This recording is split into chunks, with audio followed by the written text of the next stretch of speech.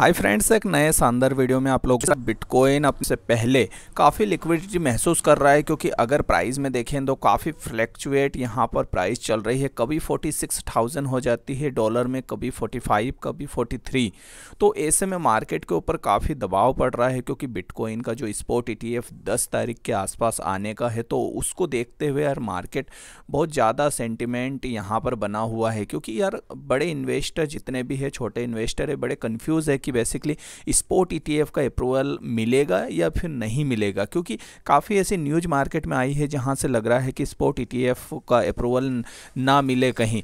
तो ऐसे में यार जो बिटकॉइन है वो काफ़ी फ्लैक्चुएट कर रहा है तो ऐसे में सीबा इनू भी यार बहुत ज़्यादा मार्केट में उठा पटक के दौर से गुजर रहा है। ऐसे में आज आप लोगों के लिए दो बड़ी न्यूज़ में निकाल के लेकर आया हूँ, जिसमें यार व्हील्स की तरफ़ से सीबा इनू में फिर से एक बड़ी खरीदारी यहाँ से की गई है। और दूसरी न्यूज़ है यार एक्सचेंजों पर भारी गिरावट के साथ सीबा इनू में जो कीमत है वो सुधार स्तर पर यहाँ से बढ़ने के काफ़ी आसार बन रहे हैं। दोनों वीडियो वॉच करना, दोनों न्यूज़ वॉच करना, इसके अलावा कुछ और न्यूज़ हम कवर करेंगे। चैनल पर पहली बार आए हैं तो सब्सक्राइब कर लेना। क्यों?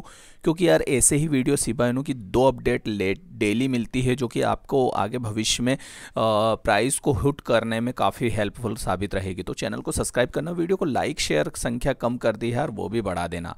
तो देखिए, यहाँ पर सबसे पहली न्यूज़ अगर मार्केट में निकल कर आई है, उसमें बारह यानी कि वन की व्हील्स की बाइंग यहाँ पर हुई है और जो सीबा इनू के लिए एक बड़ी यहाँ पर जो हम रजिस्टेंस को ऊपर ले जाने की दिशा में काम कर रहे थे, उसको एक हेल्प मिलेगी। क्योंकि यहाँ पर अगर आप सीबा इनू की प्राइस देखेंगे तो काफ़ी दिनों से एक ज़ीरो यहाँ पर वापस आ गई है, जो कि किल हो गई थी। लेकिन यहाँ पर नाइन फोर का जो एक रेसो है, जो कि नाइन ज़ीरो के आसपास की प्राइस है, ये काफ़ी समय से बड़ी है। तो ऐसे में व्हील्स की बारह की एंट्री ग्रोथ यहाँ से सिबाइनू के ज़ीरो को किल करने के लिए काफ़ी हेल्पफुल साबित रहेगी और ऐसे में सिबाइनू का प्राइस यहाँ से काफ़ी हद तक हुक कर सकता है। और दूसरी बड़ी यहाँ पर खबर आई है कि जो कैलकुलेटिंग सप्लाई है सिबाइनू की, उसमें भी यार बाहरी गिरावट के आसार यहाँ से लग रहे हैं, जो कि एक बड़ी प्राइस को हिट कर सकते हैं। तो कंप्लीट वीडियो वॉच करना। देखिए, पहली न्यूज़ की तरफ़ से व्हील्स की गतिविधि के ऊपर हम बात करें तो सीबा ने जिस टाइप से सुन वापस लेकर आया था तो उसको देखते हुए सीबा में बड़े लेन देन की मात्रा में फिर से यार इतनी जो अभी मैंने बताई, बारह परसेंट की वृद्धि देखी जा रही, जो बड़े ट्रांजेक्शन में ट्रांजेक्शन क्रिप्टो शब्दों में दर्शाता है। तो ऐसे में जहाँ ये जो एक लाख डॉलर या इससे बड़ी की राशि जो इन्वेस्टर यहाँ पर लगा रहे हैं, वो कहीं ना कहीं बड़े संकेत यहाँ से दे रहे हैं। क्योंकि बड़े लेन देन की मात्रा में व्हील्स की गतिविधि सबसे ज़्यादा होती है, क्योंकि इतने बड़े ट्रांजेक्शन उन्हीं के होते हैं, जो बड़े इन्वेस्टर होते हैं। तो बड़ी लेन देन मात्रा व्हील्स और बड़े धारक को एक ही दिन में लेन देन की मात्रा को दर्शाते हैं। तो ऐसे में इनकी जो खरीदारी है बड़ा इशारा यहाँ से कर रही है। और चौबीस घंटे में जो इनकी तरफ़ से यहाँ पर खरीदारी की गई है, वो काफ़ी उल्लेखनीय है, क्योंकि ऐसे में मार्केट ऊपर की तरफ़ ग्रोथ कर सकता है और सोमवार की शुरुआत में बाज़ार में गिरावट आई थी, क्योंकि इन्वेस्टर कहीं ना कहीं बिटकॉइन स्पोर्ट ईटीएफ पर जो एस e के फैसले का वेट कर रहे थे तो ऐसे में हालात यहाँ से कभी भी बदल सकते हैं, क्योंकि बिटकॉइन के 21 महीनों के उच्चतम स्तर से पहुँचने से क्रिप्टो मार्केट में तेज़ी से उछाल आ सकता है, क्योंकि पूरा अब दारोमदार बिटकॉइन के ऊपर डिपेंड करता है, क्योंकि बिटकॉइन की प्राइस जैसे जैसे मूव करेगी, वैसे वैसे जितने भी अल्ट कोइन है मार्केट में सब मूव यहाँ से करने वाले हैं।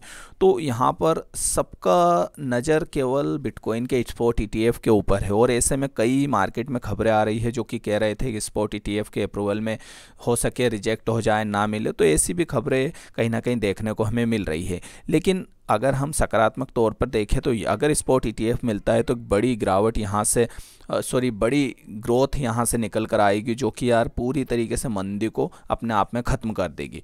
और दूसरी खबर यहाँ से निकल कर आई थी जिसको अगर यहाँ पर आप कवर करेंगे तो निकल कर आई थी कि सीबा इनू बेसिकली जो प्राइस है उसको यहाँ पर एक्सचेंज गिरावट के बीच में सुधार की काफ़ी गुंजाइश यहाँ से चल रही है।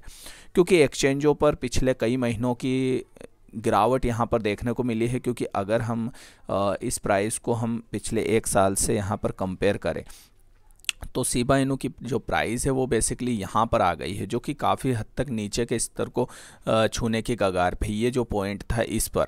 तो ऐसे में यार यहाँ पर जो ट्रेडिंग वॉल्यूम है, वो भी कहीं ना कहीं लगभग तीन सप्ताह में सबसे उच्चतम स्तर पर पहुँच गया था और रिकवरी यहाँ से काफ़ी बनने के आसार बन रहे हैं, क्योंकि यहाँ से एक प्राइस हुक कर सकता है।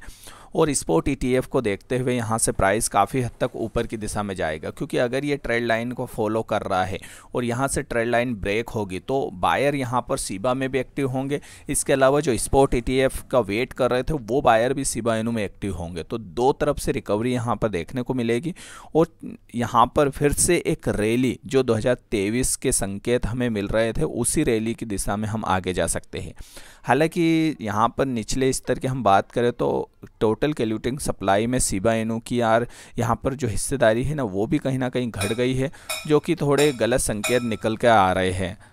अब यहाँ से सवाल आता है कि जो सीबा की कीमत में वो रिकवरी रैली के लिए क्यों यहाँ पर पॉसिबिलिटी बन रही है? तो आप देखोगे 200 जो डेज़ के हिसाब से हम, जो ईएमए के ऊपर हम यहाँ पर मूविंग एवरेज के ऊपर यहाँ पर ट्रेड कर रहे हैं।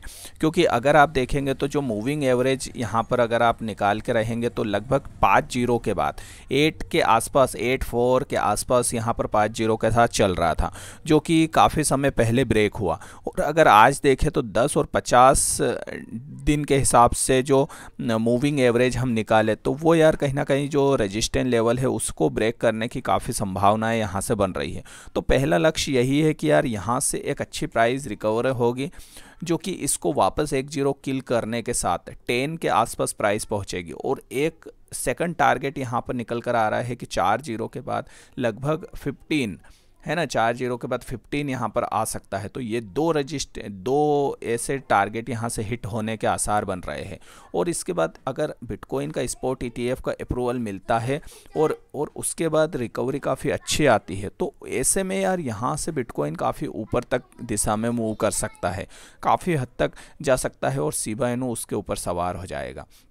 हालाँकि यहाँ पर अगर हम जो सिबेरियम के डेली ट्रांजेक्शन देखें तो वो थोड़ी चिंताजनक होने, होते जा रहे हैं क्योंकि डेली ट्रांजेक्शन यहाँ से कम हो गए हैं।